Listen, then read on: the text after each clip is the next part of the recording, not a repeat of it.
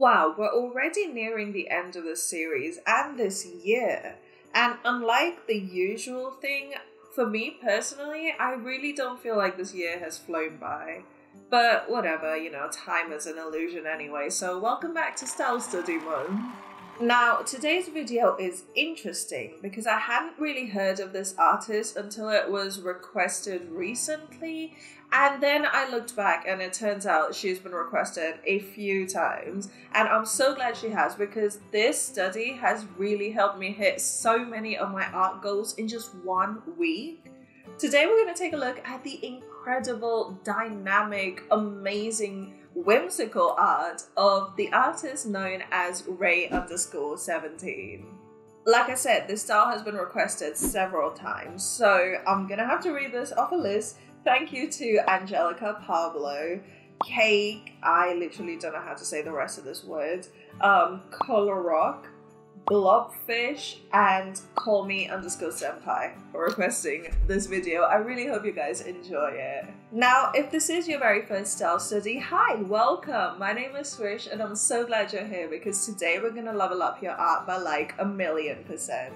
Style Study is a regular series we do here on my channel where we take a look at some of our favorite contemporary artists, analyze their work, and see what we can learn from it. Keyword learn. We're not here to plagiarize anyone's work or copy their style. We're only here to learn some really cool art tips and tricks and see how we can apply these to finding our own unique art style. I usually structure my style studies in three parts. In part one, we'll take a look at Rei's work, analyze her style, and see what we can learn from it.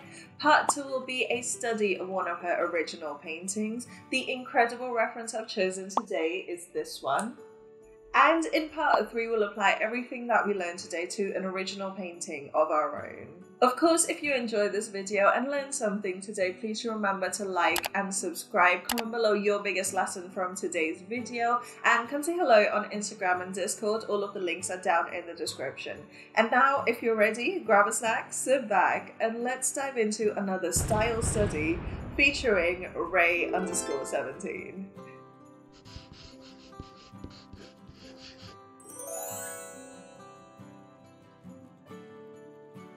Rei is a 32 year old manga artist and illustrator from China, and that's all we know about her. Seriously, there is no info, no interviews, and boy, oh boy, is that always an absolutely delicious mystery. Why is it so fascinating when people are so private? Like, we're just nosy as a species, it's ridiculous. anyway, what we have loads and loads of are her illustrations. Like, oh my god, look at these beautiful pieces. They are just so intricate and colourful, and ugh, I've been so eager to dive into this study all month. Rei's incredible art has garnered her over 516,000 followers on Twitter.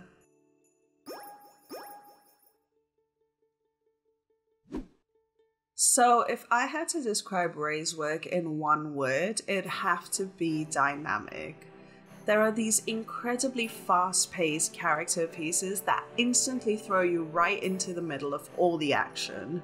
You'll see lots of really busy compositions with a ton of little details and elements. It's all extremely energetic. With the characters themselves, they are definitely very anime like, but it almost feels more elevated than traditional manga or anime. Rei's art feels like a higher fantasy version of the style, which also uses tons of very sophisticated art techniques.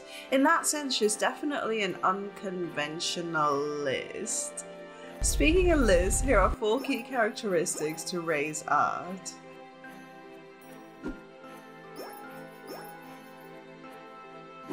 Like we've already seen, Rei paints these incredible compositions that are insanely dynamic. Not only are there loads of leading lines, they are often made of these short, jagged shapes. So not only are our eyes being zipped around the composition, the little tiny elements create a lot of visual noise in the piece as well. Even the characters are in very dynamic poses, often literally flying or kicking or falling. And if they're in more static or calm poses, Rei tends to play with the perspective and foreshortening so that they look dynamic. So, here for instance, although this character is only stood here holding what looks like a gun, the pose doesn't look too static or boring because the perspective is pushed to a top down view. Same here with this character who's just standing here, the top down perspective makes it feel more dynamic than it actually is. When it comes to the noise, though, there are so many detailed elements that make up Rei's compositions, it almost feels overwhelming. No matter how simple or complex the scene is, all these extra elements really push the complexity regardless. Here with this portrait, there's waves lapping at his knees, there's a star casting loads of rays of light, there's these waterfall type design elements, there's what looks like a chain that breaks into little jagged pieces, all of this in a single character piece. So then if we look at something like this with a bunch of characters and horses, there is already so much noise, but then Rei also adds all these flying arrows and even the subtle clouds to really push the dynamism. However, one thing that struck me about a lot of Rei's paintings is that they aren't always logical scenes. So there isn't always like a structured foreground, midground, background. It doesn't always look like these are taking place at a physical location. There's almost like a movie poster quality to some of these paintings in that there's multiple characters all in different perspectives and not necessarily interacting with each other. I just thought that was super interesting because it almost feels like surrealism.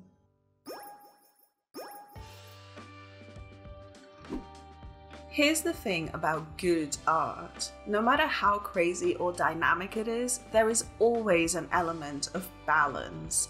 And even though Rei's art is fast paced and visually noisy, it does not feel unbalanced at all.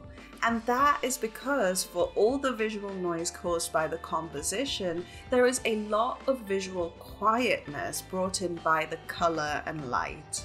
Looking at the lighting first, for the most part the primary key light is a flat diffused white light. Not only does this keep most of the surfaces fairly low contrast, it also highlights pretty much all aspects of the design. You very rarely see any lost edges and there's pretty much never any harsh shadows at all, especially on the skin. Does that mean there are no dark values whatsoever? No, you will see dark values, but those are in objects that are inherently dark. Like here for instance, these characters have dark hair and dark clothes, so those add all the contrast needed to balance the values out, but the darkness isn't caused by shadows per se. It's just the actual colour of the object, not a trick of the light. With the colour palette, now this is where we see a low contrast that still looks vibrant you'll see with the colors that they are pretty much all the same level of saturation. Either they're all low sat or all high sat. There's pretty much never a situation where you have both high and low saturation colors in one piece.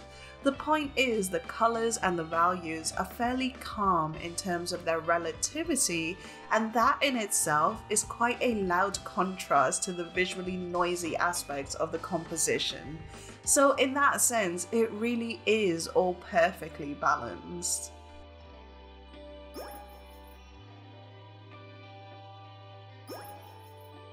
Let's now look at some of the smaller details that also happen to be my personal favourite part of Rei's work, and that is the holographic shine. In a lot of the character pieces, you'll see what appears to be super bright, super saturated pops of colour, seemingly in random places. However, these are not random in any way whatsoever, because when it comes to the hue and the placement of these holographic pops of light, there actually seems to be a specific formulaic approach. So first and foremost, you'll mostly see the pops of colour in either the hair or in the fabric that is supposed to look like silk.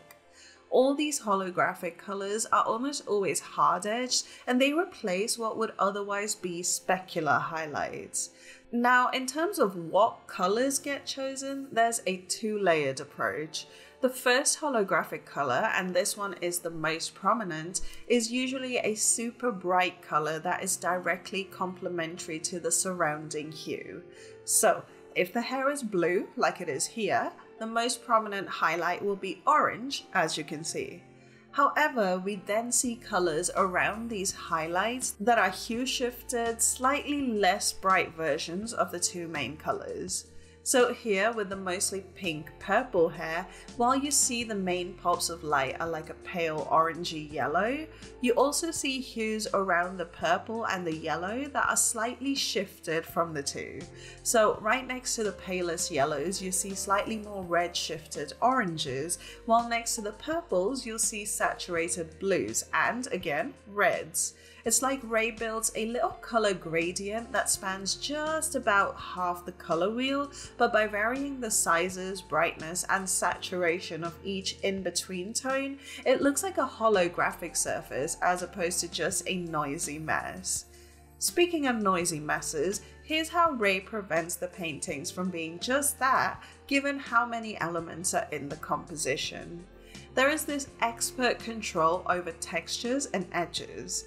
You'll see that she mostly uses hard edge shades that kind of look like when you paint wet on dry with watercolors. However, within shapes that lie over rounded forms, such as the apples of the cheek or where the hair drapes over the roundness of the skull, you'll definitely see a fair bit of color blending that softens these areas out. Pretty much all the texture seems to come from the brushwork though, as opposed to any specific texture overlays, so there is still this kind of uniformity across the piece that helps balance out the sheer number of objects in the scene. Finally, let's take a quick look at the proportions because although the core of Rei's work is her rendering and compositional choices, the characters themselves are a huge point of focus here.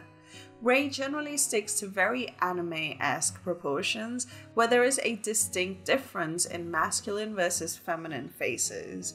The feminine characters have your classic baby face, so large round eyes placed very low on the head, tiny minimized noses if any, and small lips that are pretty much only indicated by the line of separation and a little shadow above the chin.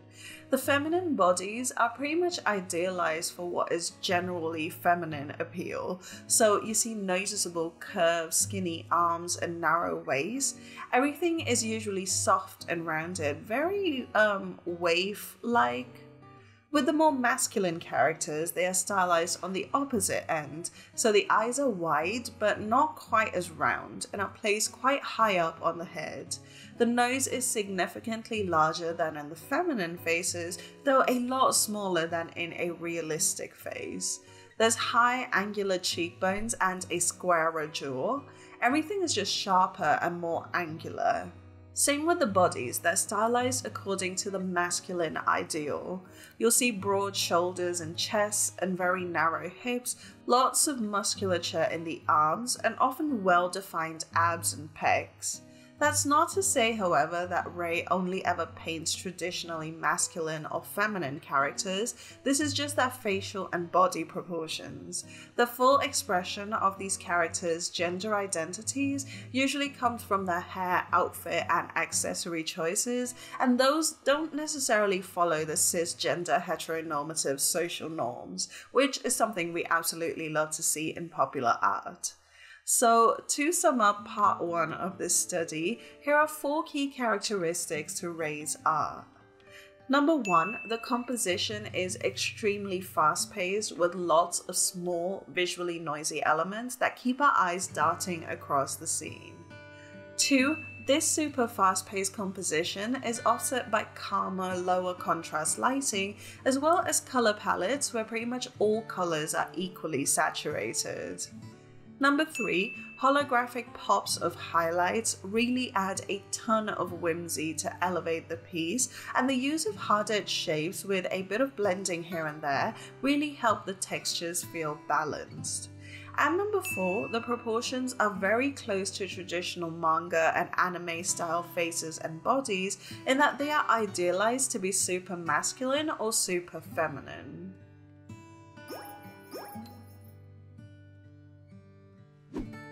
For our study today, this is the adorable reference that I've chosen.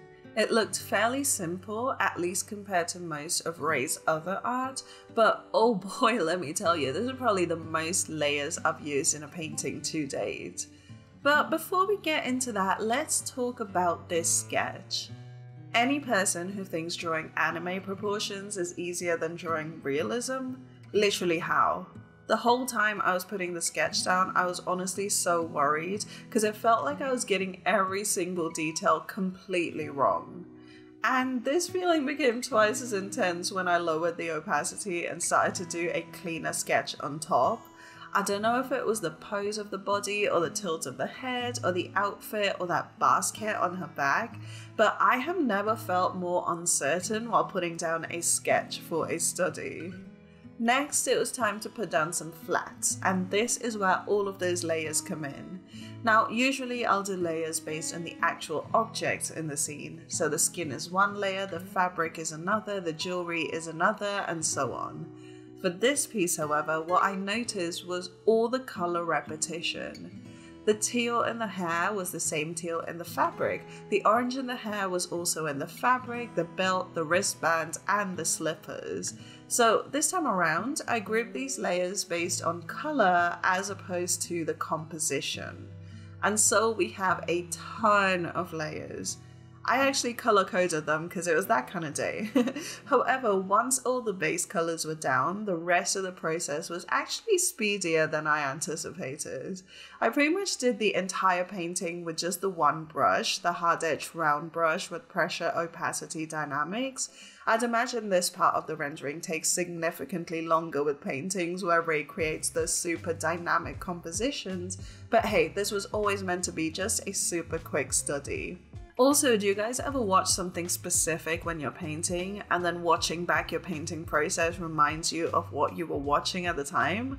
I was on a horror movie kick the day I painted this, and that's all I could think about while scripting this bit.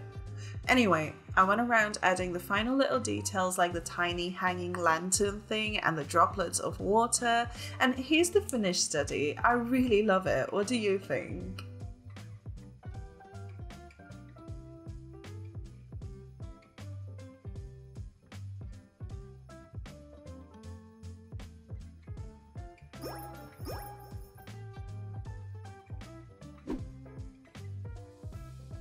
Okay, can I be honest with you guys for a second? When it came to this original painting, I was extremely intimidated. The references I'd collected for it were just so amazing and detailed, and I had absolutely no way of matching that level of detail in the two days that I'd allotted for this painting. Plus, I got real ill real quick, and it was just a lot altogether. However, I wanted to capture the feeling of secondhand rage here. You know that feeling when someone you love and care about is treated so horribly and you want to stand up and fix the situation, but it's just really not your place to say anything? It leaves you kind of feeling frustrated and useless, but still filled with so much rage. I wanted to go for a top-down view here with some foreshortening since I really don't practice foreshortening nearly enough. I wanted to be creative with a super fast-paced composition with loads of elements, but it honestly felt like a little bit of a creative block. Anyway, after overthinking and blocking in the colours, it was time to paint. I knew quite early on that I really wanted to throw in some saturated pops of colour in both the skin and the hair, and also to some extent in the clothing. Since all those aspects started out with warm global tones, the colours had to be like saturated teal and blue. And with the hair, since we want that holographic colour pop, Along with a bright blue highlight, I also threw in a bright orange highlight and some deeper blue violet colours around the teal. To contrast the bright, low contrast stuff, I threw in some really dark fabric in her outfit, though that was a little redundant later on because I ended up just darkening the background anyway. After more colour and contrast adjustments, here's the finished piece. I still don't know how I feel about this, but let me know what you guys think.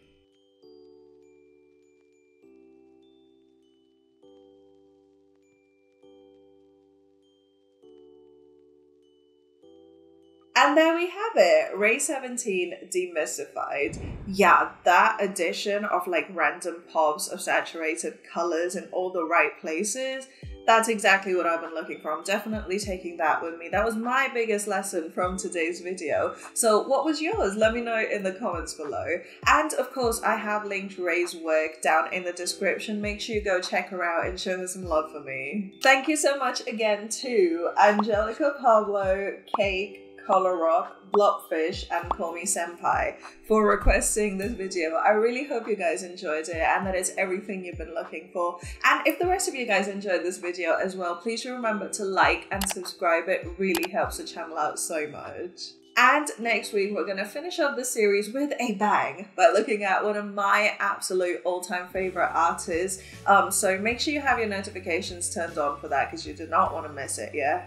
Come say hello on Instagram and Discord, the links are down below. And if you enjoy what I do and you'd like to support what I do, then you can always check out my Patreon for all of my art, a first look at all the videos without any ads, um, all of the complete speed paints, the entire art and Show collection for all of my patrons. I'll leave a link up here. You can also grab my brush kit on there, by the way. Um, I'll leave a link up here in the cards. Make sure you check that out, and I really appreciate all the support. Are there any other artists you'd like to see a style study on in the future? First, check out my style study playlist. I'll leave it here in the outro in just a sec. I've done a ton of these. Chances are I've probably covered some of your faves on the series already, but if I haven't, feel free to comment below or better yet, come let me know on my Discord server so it doesn't get lost in the comments. But yeah, that's about everything I have to say today. So thank you guys so, so much for hanging out with me. I really hope you've enjoyed it as much as I have. Check out some more style studies down here. Happy Style Study Month. And I'll see you guys on the next one. Bye.